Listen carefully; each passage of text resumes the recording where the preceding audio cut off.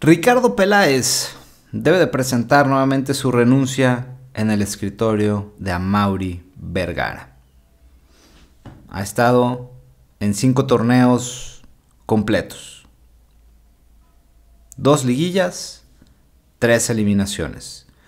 Prometió que se hablarían de títulos y en Chivas se habla de todo menos de campeonatos.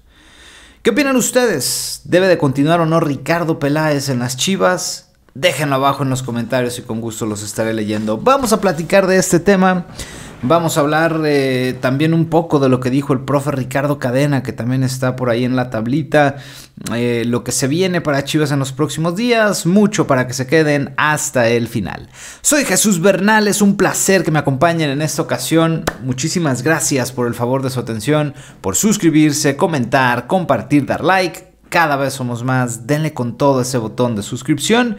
Y los invito a descargar OneFootball, la mejor aplicación de fútbol en el mundo. Ahí podrán encontrar noticias, goles, resultados, fichajes, absolutamente todo. Y es que lo mejor es que OneFootball eh, tiene toda la información de las chivas. Así es que en esta época que se viene de rumores y fichajes, descarguen OneFootball y se van a enterar de todas las notificaciones del rebaño sagrado. Lo único que tienen que hacer es ir al link que les dejo abajo en la descripción y comentario fijo para descargar OneFootball.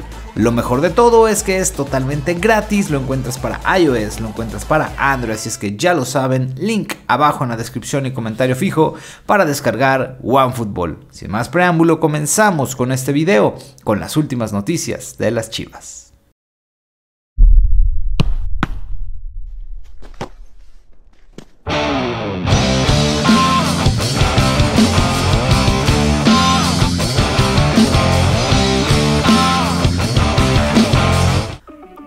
Bueno, pues eh, después de haber consumado un fracaso más, me parece que Ricardo Peláez ya tendría que presentar su renuncia, ponerle en el escritorio de Amauri y de que sea de manera irrevocable. La situación es que ha quedado muchísimo a deber Peláez. Enormidades. Prometió cosas y no ha pasado absolutamente nada con el equipo. Sus fichajes han sido muy malos.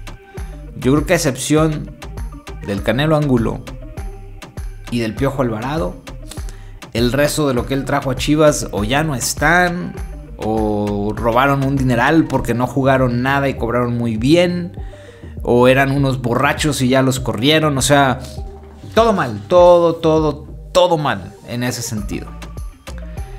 Y los proyectos que ha propuesto como entrenadores, pues tampoco han funcionado, ¿eh? Entonces, yo creo que ya no hay, no hay salvación para este tema. Y viene un periodo importante porque es un descanso largo, porque son tres meses hasta que arranque el próximo certamen, porque hay una serie de circunstancias que me parece que se tienen que aprovechar para evitar caer de nueva cuenta en esta situación. Es el momento, Mauri. Si Ricardo no presenta la denuncia, hay que buscar a alguien más. La gestión de Ricardo Peláez ha estado llena de fracasos en el equipo de las Chivas. Y me parece que lo que ocurrió ayer en Puebla, pues debe de ser la gota que derramó el vaso. Cinco oportunidades, dos liguillas, tres eliminaciones en repechaje. Eso es lo que ha entregado Ricardo Peláez en su paso por el equipo de las Chivas. Por otra parte, el profe Ricardo Cadena sabe y entiende que no está seguro en el banquillo. Y es que, eh, pues también dentro de todo quedó a deber. Pero imagínense qué raquíticos son los números de los técnicos que ha traído Peláez, que es el que tiene más efectividad y que le alcanzó por una liguilla y un repechaje, o sea, lo mismo que entregó Bucetich, por ejemplo. Muy triste. Y él pues entiende y sabe que a pesar de esto está ahí, ¿no? En la tablita, que en la semana se tomarán decisiones y que a partir de ahí pues se podría ver qué es lo que, lo que viene en su futuro, ¿no? Lo que aparece en el futuro del profe Ricardo Cadena. Él es consciente de esta situación y sabe que ha quedado a deber. Vamos a escuchar al estratega de Chivas. Este, qué sensación, pues que mi equipo nunca dejó de, de ir hacia adelante, eh, de buscar y pelear eh, en el encuentro. No se rindieron jamás. Eh, ellos asumieron dentro del, terreno de juego que teníamos que hacer algunos ajustes, modificaciones y todo lo que intentamos durante el desarrollo del partido lo llevaron a cabo como lo, como lo habíamos diseñado. me deja esa, ese espíritu de lucha, ese debe ser realmente una de las, de las virtudes de, la esencia que tiene que tener el jugador de, Chivas. Y bueno, lamentablemente no nos permite la serie de penales seguir, seguir eh, con nuestras aspiraciones para, para buscar los demás objetivos. ¿no? Eh, con relación a, a, lo que, sigue, eh, primero que nada, bueno, yo creo que supongo que debo ser evaluado por mi directiva y ellos van a, a determinar si, si hay posibilidad de, continuar por mi parte, como cuerpo técnico, siempre hemos estado eh, tomando precaución en, los diferentes escenarios. Eh, se tiene, por supuesto, una idea eh, pensando en, la continuidad. Pues tenemos algo preparado como, como son las fechas y cuestión de, pretemporada y todo ese tipo de situaciones que ya se, se han estado atendiendo en las diferentes áreas que ya tienen conocimiento también. Entonces, eh, bueno, de lo demás tengo que esperar si, si hay esa opción para, para continuar. Por otro lado, pues eh, mucho se ha, eh, se ha hablado del Canelo Angulo, que es el, que termina por fallar el penal que elimina al Guadalajara. Se resbala, tuvo una muy mala fortuna en ese sentido porque resbala y por eso termina mandando el, disparo por arriba. Y el profe Cadena salió en su defensa dentro de la conferencia de prensa que otorgaba.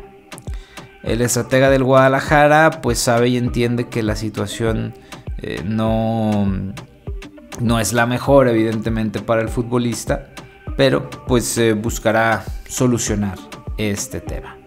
Eh, ¿Qué fue lo que dijo Cadena sobre el Canelo? Veamos. Sí es. Bueno, que finalmente eh, es parte de la, de la profesión. Eh, somos seres humanos y todos eh, en algún momento podemos equivocar o errar un, un, penalti. Nadie quiere, pero solamente los que se paran frente, frente al balón y en momentos decisivos son los que, los que tienen esa, esa responsabilidad y esa posibilidad. Hoy me quedo con que mis jugadores se pararon todos con, esa personalidad, con esa eh, mentalidad. Él es uno de ellos y bueno, pues levantarle, levantarle el ánimo. Sé que está dolido, que está triste, eh, como estamos a lo mejor todos. Él propiamente por haber errado el penalti, le he dicho que es parte de, de esta profesión y que no va a ser el primero ni el último que va a tirar y que va a tener una revancha seguramente muy pronto.